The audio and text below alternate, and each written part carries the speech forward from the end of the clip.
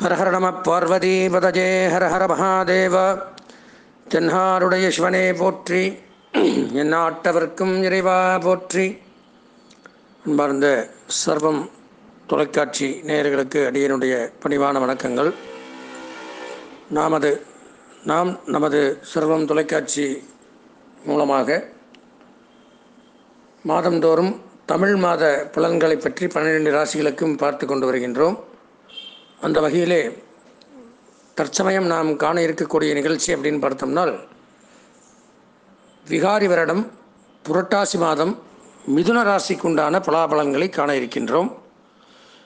பொதுவாக மிதுன ராசி அப்படின்னா மிருகசீரிஷம் திருவாதிரை புனர்பூசத்தில் பாதி நட்சத்திரம் வரும். இந்த நட்சத்திரத்தை சார்ந்தவர்கள் மிகுந்த அறிவாளிகள் புதனுடைய வீட்டில் இருக்கிறதுனால சிறந்த பேச்சாளர்கள் கடுமையாக உழைப்பவர்கள் புத்திமான்கள் அப்பேற்பட்ட தங்களுக்கு இந்த மாதம் எப்பொழுது இருக்கும் என்பதை காண்பதற்கு முன்பாக நம்மளுடைய ராசிநாதனான புத பகவானை பிரார்த்தனை செய்து நிகழ்ச்சிக்குள்ளே செல்வோம். ஓம் புதகிரகாய வித்மகே இந்து புத்திராஜ தீமகி தன்னோ சௌமிய பிரச்சோதயாத். ஓம் பிராம் ப்ரீம் ப்ரௌம் சஹ புதாஜ அதாவது ராசியிலேயே ராகு சஞ்சரிப்பதனாலே மனக்குழப்பங்கள் உடல்நிலை சற்று கோளாறுகள் வயிறு சம்பந்தமான பிரச்சனை தலை சம்பந்தமான பிரச்சனை கண் சம்பந்தமான பிரச்சனை நரம்பு கோளாறுகள் இதெல்லாம் ஏற்படும் இந்த மாதத்தில் கொஞ்சம் எச்சரிக்கையாக இருக்கணும். உடல்நிலை சம்பந்தமாக பிரச்சனைகள் ஏற்படும். ராசியில் ராகு இருக்கிறதுனால கண்ணாடி போட வேண்டியவர்கள் வரும் சில பேருக்கு. தலை சுற்றல் வாந்தி மயக்கம் ஆகாரம் மூலமாக பிரச்சனை. சாப்பாடு சேரல ஃபுட் பாய்சன் இதெல்லாம் ஏற்படும். வெளிநாடு போகக்கூடியவர்களுக்கு இந்த மாதம் அந்த யோகங்கள் உண்டு.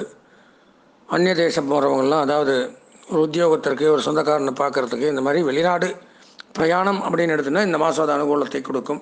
சில பேர் பார்த்தோம்னா ரொம்ப நாளாக எங்களுக்கு விசா வரலை வெயிட் பண்ணின்னு இருக்கோம் அப்படின்லாம் சொல்லுவாங்க.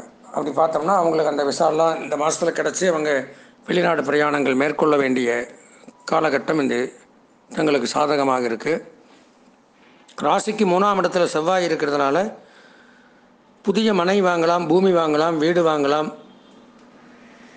இத்தனை நாளாக உடம்புல இருந்து வந்த பிரச்சனைகள் விலகும். சில பேருக்கு விபத்து நேரிடக்கூடும். கொஞ்சம் ஜாக்கிரதையாக இருக்கணும்.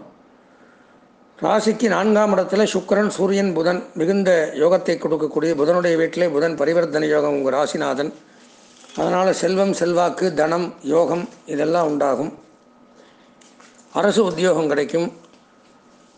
தனியார் உத்தியோகத்தில் இருக்கிறவங்க இந்த ஐடி கம்பெனி இந்த மாதிரி ப்ரைவேட் ஜாபில் இருக்கிறவங்களுக்கெல்லாம் பதவி உயர்வு சம்பள உயர்வு இதெல்லாம் ஏற்படும்.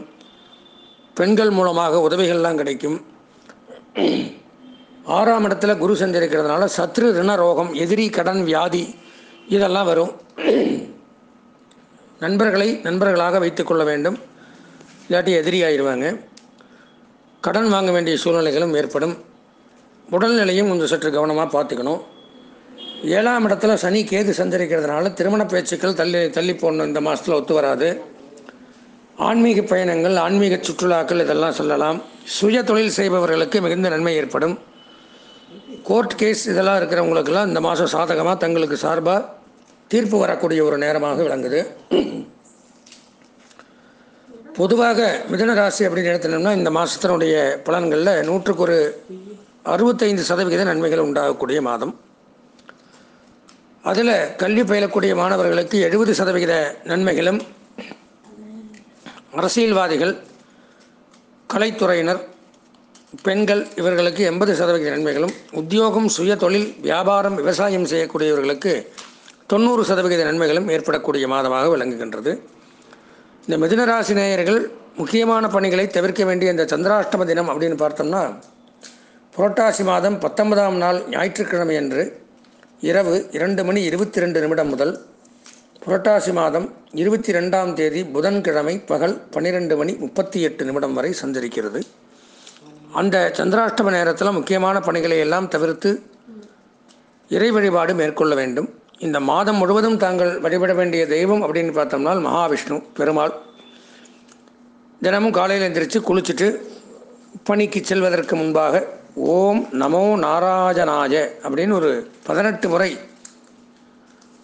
ஜெபம் செய்துவிட்டு அன்றாட பணியினை துவங்கினால் இந்த மாதம் முழுவதும் தங்களுக்கு ஒரு இனிமையான மாதமாக விளங்கும் என்பதில் ஐயமில்லை என்று கூறிக்கொண்டு இந்த நிகழ்ச்சி தங்களை கவர்ந்திருந்தால் எங்களுடைய சர்வம் தொலைக்காட்சியை சப்ஸ்கிரைப் செய்து அருகில் இருக்கக்கூடிய பெல் பட்டனை அழுத்தி உதவுமாறு கேட்டுக்கொண்டு விடைபெறுகின்றேன். நன்றி வணக்கம். மேலும் ஜோதிட விவரங்கள் ஜாதகம் வாட்ஸ்அப்பில் பார்க்கறதுக்கு ஜாதக சந்தேகங்கள் ஆன்மீக சந்தேகங்கள் இது போன்ற இதெல்லாம் இருந்ததுனால் உங்களுடைய ஜோதிட குரு சிவஸ்ரீ டி சரவணமாணிக்க சிவாச்சாரியார் ஆகிய என்னுடைய தொலைபேசி எண்ணை தெரிவிக்கிறேன். நீங்கள் எப்போ வேணாலும் என்னை தொடர்பு கொண்டு ஜாதகத்தை பற்றியும் ஜாதகம் பார்க்கறத பற்றியும் மற்ற எல்லா விவரங்களும் தெரிஞ்சுக்கலாம்.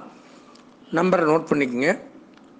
ஒம்பது எட்டு ஆறு ஐந்து சைபர் ஒன்பது எட்டு மூணு ஏழு சைபர். இந்த நம்பருக்கு வாட்ஸ்அப்பில் ஜாதகத்தை அனுப்பிச்சி வச்சாலும் நாங்கள் ஜாதகம் பார்ப்போம். அதற்குண்டான குருதட்சணை என்னங்கிறத சொல்லுவோம். அதை அனுப்பிச்சி விட்டுடலாம் மற்ற சந்தேகங்கள் எதாக இருந்தாலும் நிவர்த்தி செய்து கொள்ளலாம். எனவே தொடர்பு கொண்டு பயனடையுமாறு கேட்டுக்கொண்டு விடைபெறுகின்றேன். நன்றி வணக்கம்.